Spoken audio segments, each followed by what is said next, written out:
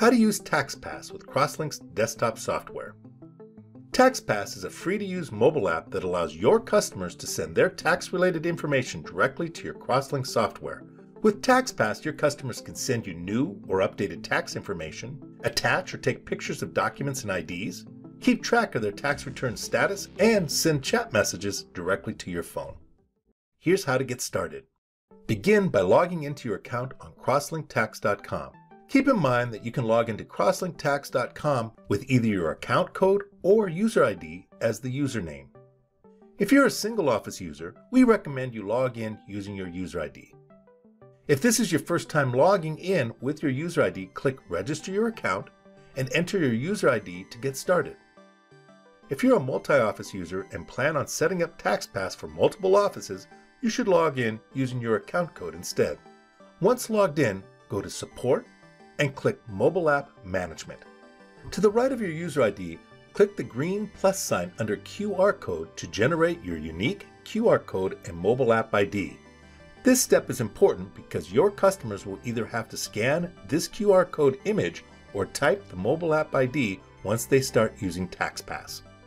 Either can be used to identify your tax office on the TaxPass app and route submitted data directly to your Crosslink software. If you want, you can also save the QR code to your PC as an image or jot down the mobile app ID to share with your customers. While here, you may want to take a couple of minutes to upload your company logo so it will automatically appear on the TaxPass login screen. You can also double check your office's contact information that will display on the app. With your QR code and mobile app ready for use, you're welcome to instruct your customers to download TaxPass.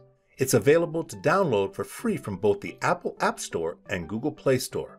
And remember that your customers will need to know your office's mobile app ID or have a copy of your QR code in order to send you their tax return data. You can always find both by returning to the Crosslink Tax website.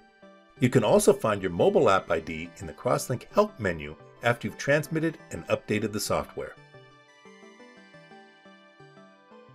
You can check if any customers have sent you their tax return data by clicking TaxPass mobile app retrieval on the Crosslink Work in Progress summary. Just click the desired customer on the client list window and click OK to open the tax return. You'll find all the information they entered on TaxPass populated on the client data screen. Additionally, pictures or documents that the customer attached will be saved and stored in the tax returns document archive. Your customer started the tax return with TaxPass, and all you need to do is finish it with Crosslink.